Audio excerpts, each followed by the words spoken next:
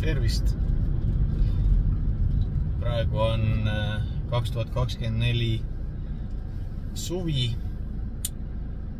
Mm, kaks tuhat kakskümmend neli jaanuari alguses ma tegin äh, ühe väikse video ja ütlesin, et kindlasti ma kavatsen äh, jätkata postituste ja videote tegemist mormoonluse kohta küsimus on, et äh, miks ma ei ole neid teinud äh,. miks ma olen nii laisk olnud.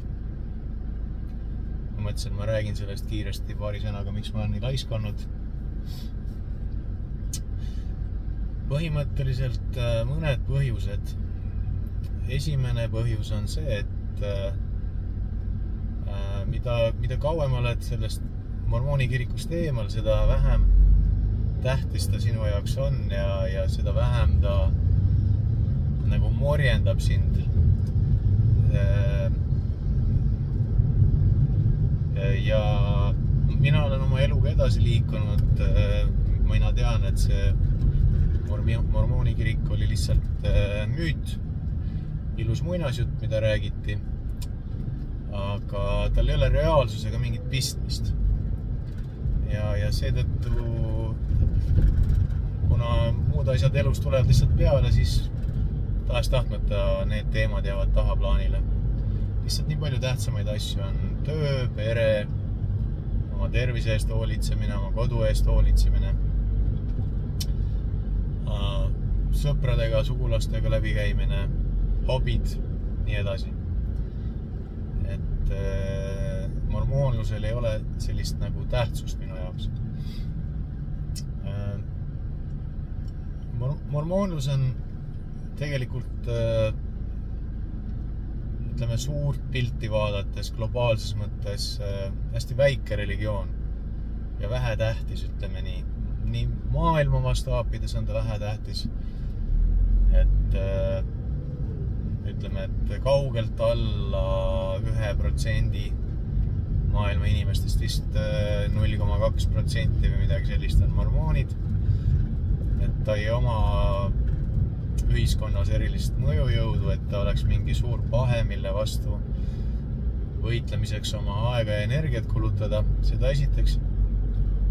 teiseks ka Eestis äh, me räägime mingist paarisajast aktiivsest liikmest.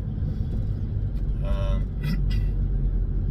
et tal ei ole mingit kandepinda ja mõju Eestis, et mille pärast mina peaksin muretsema ja oma aega ja energiat Äh, sellest rääkimisele väga kulutama. teine asi, mille peale ma olen mõelnud, et äh, miks ma nagu ei tee neid videosid või väga sõna ei võta sel teemal, on see, et äh, et see ühisosa, need nii-öelda Venn diagrammi ühisosa nende inimeste vahel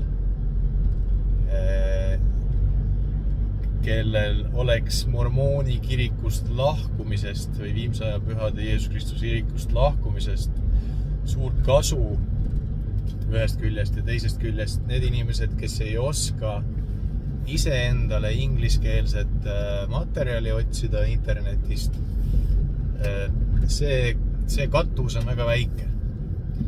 ühesõnaga, ühesõnaga minu mõte oli see, et ma teen eestikeelset sisu nende inimeste jaoks, kes, äh, kelle jaoks äh, äh, kirikust rohkem teada saamine ja võib-olla selle põhjal ka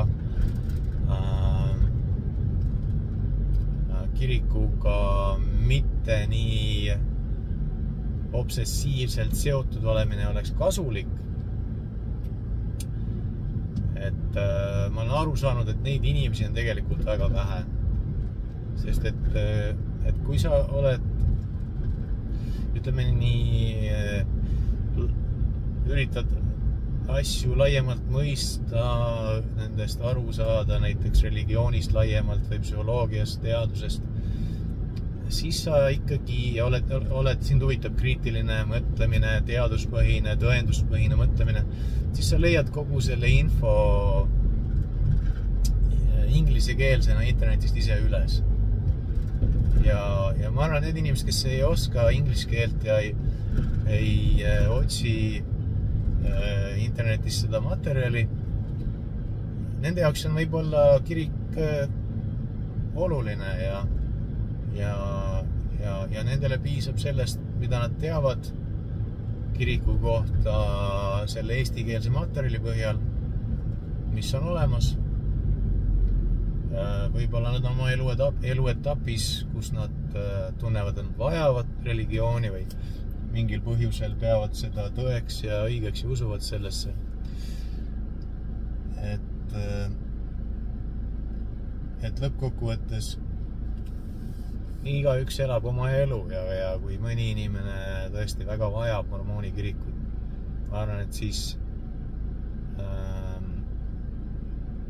siis ta ei otsigi sellist eestikeelset äh, laiemat äh, käsitlust kiriku kohta või rohkem ajaloolist infot või äh, infot õpetuste kohta. Need on need põhipõhjused. eks mul mõtteid ikka on mingitel teemadel, millest rääkida, aga, aga enamasti ma ei jõua videote realiseerimiseni. praegugi ma lihtsalt sõidan autoga ühest kohast teise, mõtlesin, et lihtsalt üritan, et kas mul õnnestub äh, lühivideo salvestada lihtsalt oma mõtteid äh, rääkides ilma, ilma märkmeteta, ilma ettevalmistuseta. ma isegi ei tea, kas postitan selle või mitte. aga kui postitan, siis kõigile edu ja võib-olla näeme varsti jälle